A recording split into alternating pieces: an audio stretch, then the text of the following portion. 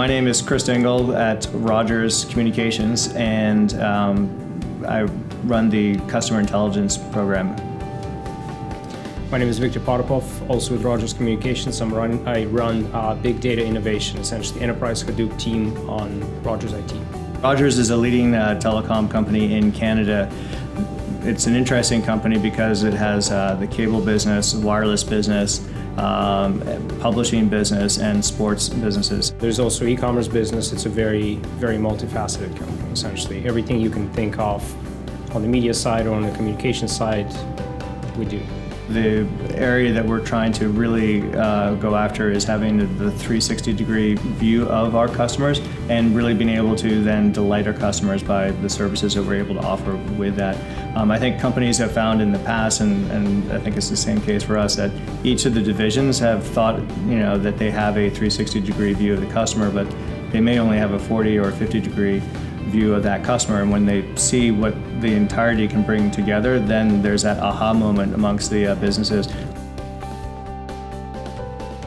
The initial use case was um, really uh, around communicating with customers in digital channels, and um, it involved uh, quite a bit of data from um, uh, Adobe and Google, and, and, and, working that together, you know, with our publishing partners. So what was really nice about what we were able to do is to bring all those data sets together, and then do our own analysis, uh, you know, from a Rogers perspective, uh, you know, on behalf of our customers, and, and that that made all the difference. the tech tech talent on our team has been experienced in using traditional relational databases and the types of queries we were executing there, which is there's absolutely no way you can run it in a traditional database. It's just going to die. Um, but with Hadoop, obviously it's possible.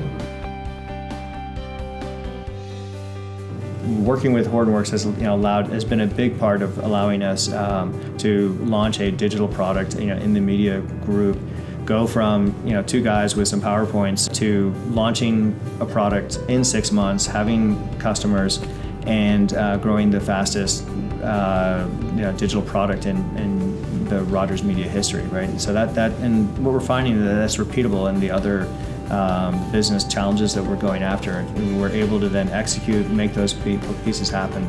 We're a shop now that uh, you know people know and come to because you know they want to learn about Hadoop, they want to get those skills, and and then we're you know, Hortonworks is that partner that really helps make that happen. You know, you have someone in, on your team and they'll, they'll step up, they'll give their presentation or they'll talk to, uh, you know, who the person is.